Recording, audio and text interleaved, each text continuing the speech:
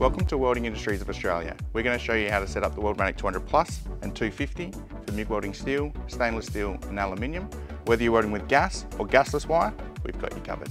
Whether you're welding steel, stainless steel or aluminium, make sure you select the right wire and drive roll type and size for your application. Both the wire diameter size and drive roll groove size should match. The Weldmatic 200 Plus and 250 drive rolls have two groove sizes. The size is labelled on the opposite side of the relevant groove size. If you have both the Weldmatic 200 Plus and 250, it's worth noting they each take different drive rolls because the drive roll sizes are physically different. Your metal type will determine your groove type. A V-groove drive roller should be used when welding steel, a U-groove when welding aluminium, and a knurled V-groove if using a gasless wire. To install your wire, unscrew the spool retaining nut, however don't undo the wire yet. Mount your spool onto the spool holder with the wire facing downwards. Next, insert the drive roll. Release the drive tensioner and lift up the drive roll pressure arm.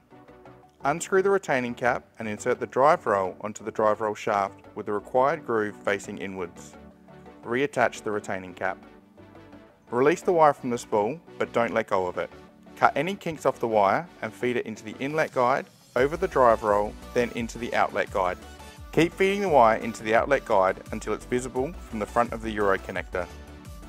Re-engage the pressure roller and adjust the drive roll tensioner for a reasonable amount of tension.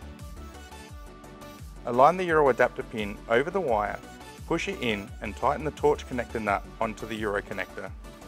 Plug the machine into the power socket and turn the rear switch on. On the LCD interface, press the process button. Rotate the select knob to your desired process. In this case, MIG steel, then press the same knob to select. Because we have selected MIG steel, we need to select our gas. Rotate the select knob to your required gas type. Argon CO2 should be used for all metal thicknesses. Another option is argon CO2 and oxygen. If you are using gasless wire, you have the option to select flux cored gasless. If you are using gas shielded flux cored wire, you have the option to select that. Press to select your gas type. For other MIG processes, there is only one gas type, no gas selection is required. Now connect the polarity cable to the terminal shown on the screen.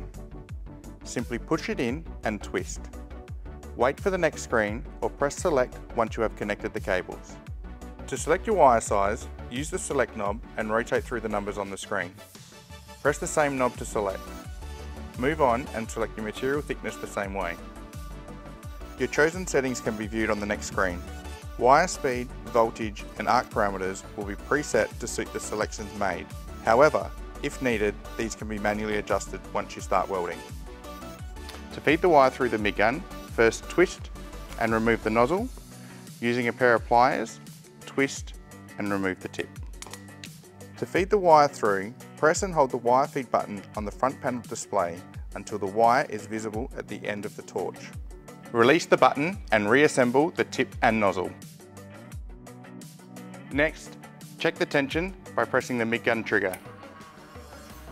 If the wire does not continue to feed, more tension is required. If using gas, connect the gas hose to the gas inlet at the back of the machine.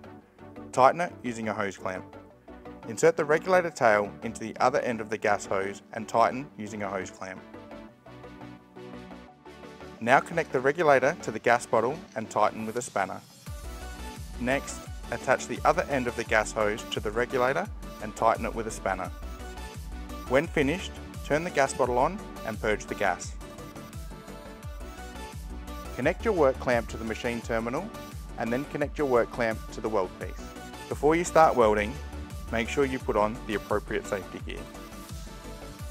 Clean and prep your metal. This part is important. To get a clean weld, we need a clean surface. We're going to use a wire brush to remove any rust and dust from the weld piece. You can also use a grinder to do this. Missing this step will result in a less than average looking weld. For more information on the Weldmatic 200 Plus and 250 and to learn about safe practices when welding, refer to the safety manual.